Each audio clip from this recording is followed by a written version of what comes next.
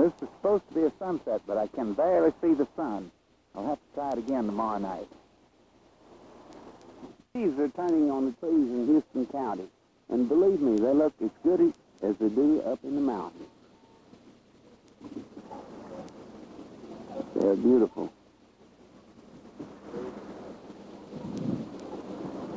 I hope I hope I captured the color.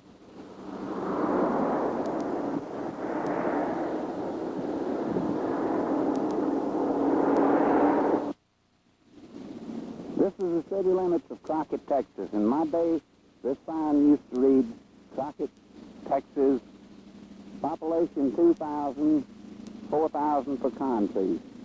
I remember it vividly from the past. Population has increased somewhat now.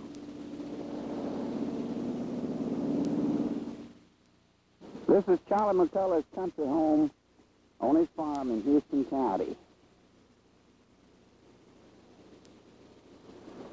When we get back to Houston, we'll take picture of his city home.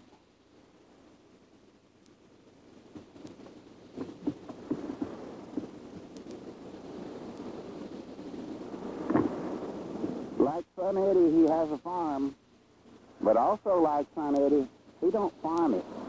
He lives in the city and comes up for rest and recreation.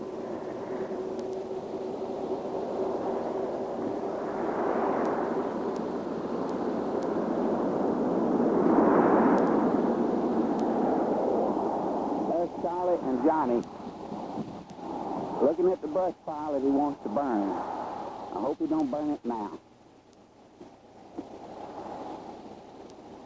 We're going now to the home of Johnny and Lee Dancer.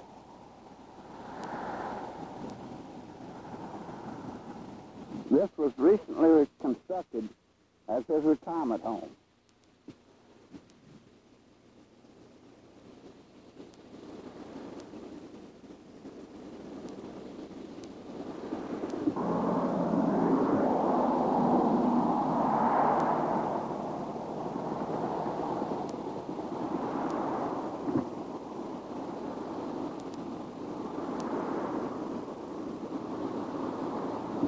Too many people can afford to own two Cadillacs, two motorhomes, and still have a home like this.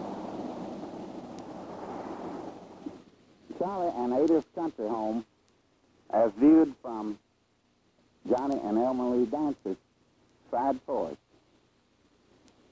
This is an extra house on Charlie's farm. We, we view the countryside as we leave Houston County. A unique situation here in that Crockett, Texas is in Houston County. Houston, Texas is in Harris County. And the home of Sam Houston is in Walker County. I think they got a little mixed up. Johnny and Emily's home as viewed from Charlie and Ada's country home, just a few hundred yards away.